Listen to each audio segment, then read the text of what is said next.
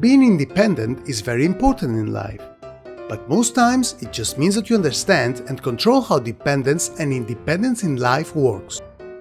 For example, as children, our money is dependent on the pocket money our parents give us. Our parents' money is dependent upon their job.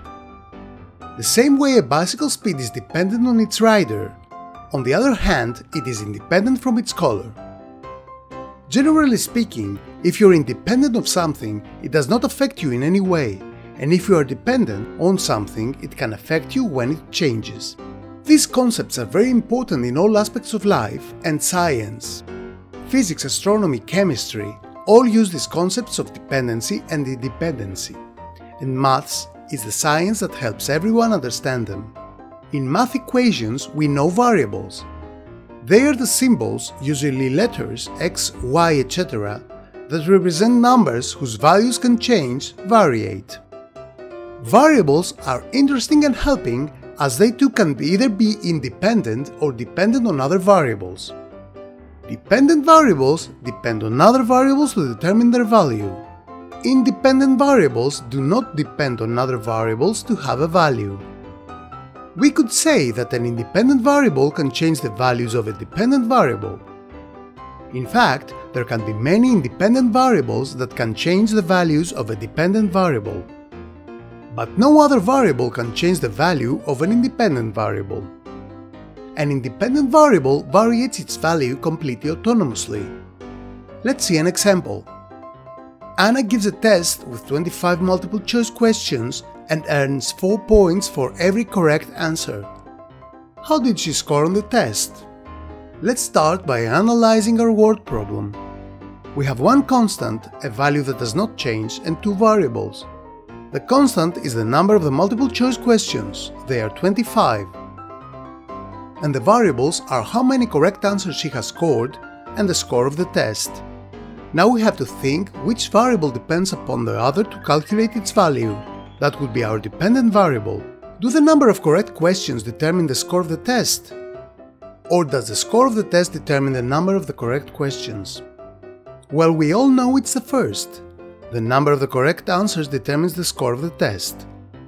That means the score of the test is the dependent variable and the independent variable is the number of the correct answers.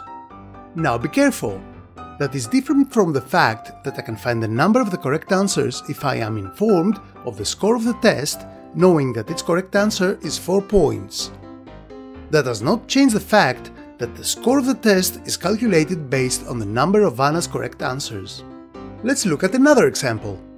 Anna and her brother Alex are now baking cookies for their class. Two cookies for each classmate. How many cookies do they need to bake? Here we have again two variables and one constant. The constant is the number of cookies each classmate gets. That would be 2. And the variables are how many classmates they have and the number of cookies they need to bake.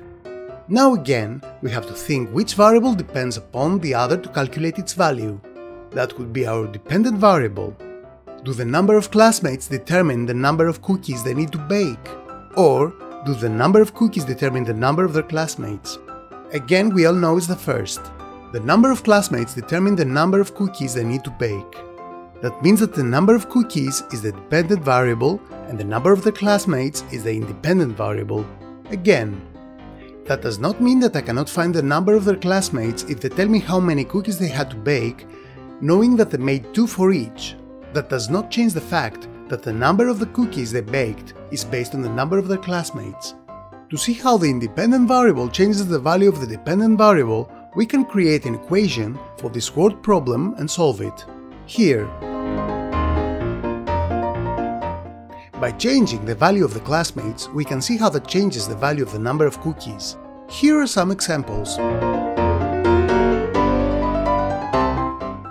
We could build a table with possible classmate numbers and equivalent number of cookies that need to be baked. Based on those values, we can build a line that represents the functional dependency between the two variables. The dependent one we depict on the y-axis and the independent one we depict on the x-axis.